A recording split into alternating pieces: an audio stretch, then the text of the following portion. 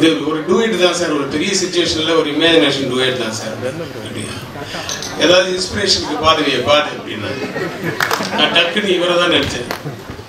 உடனே ராமராஜ் சார் நினைச்சிட்டு மாங்குயிலே